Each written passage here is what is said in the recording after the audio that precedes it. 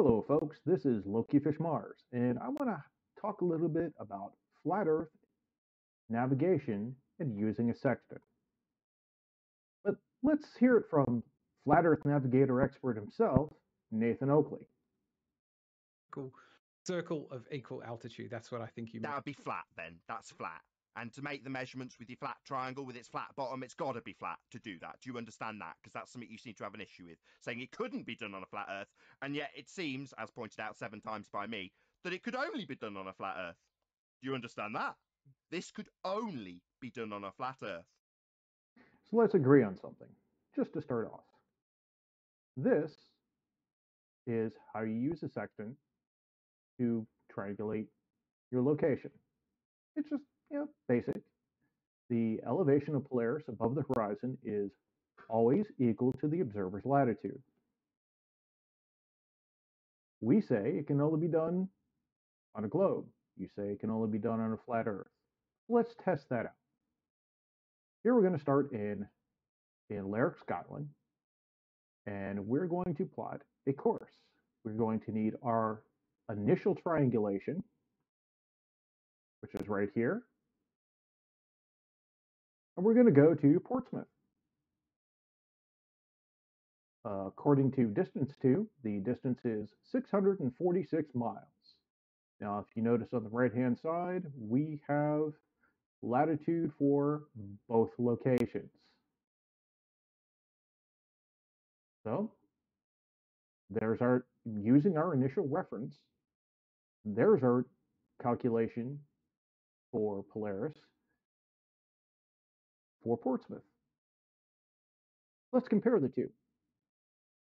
Well, according to this, that's 934 miles. So where does that put me? Oh, it puts me in France. Mm, not good. Well, let's try to reverse that course. We're going to start from Portsmouth and go to Lerwick. Again, Portsmouth is our initial reference point. We then calculate for Lerwick. Compare the two. That's 843 miles. Hold on a second. Where am I going to end up now? Oh, great. I'm in the middle of the North, North Atlantic. Wonderful. Well, maybe it just doesn't work on in England, yeah, in Great Britain. Let's try this in the U.S. We're going to start in North Dakota there's our initial reference triangulation. And we're going to go to Corpus Christi, Texas. Well, that says it's 1,463 miles. Well, let's calculate for Corpus Christi using our initial reference.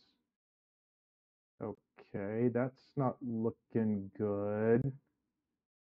Oh, Wow, that's actually really bad. Um, so where's this going to put me? Uh, okay, so you miss Texas, you go through the Gulf of Mexico, through Mexico, and down to the equator. Um, hmm. So what's the conclusion here?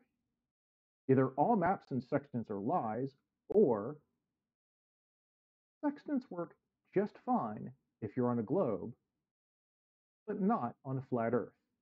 And while this is not my image, I did check it, it is to scale.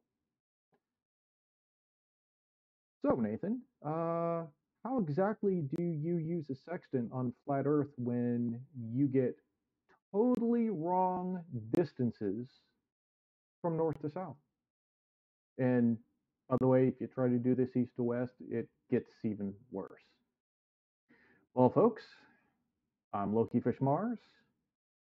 If you'd like to see more content, like, share, and subscribe. Until then, the Earth's not flat.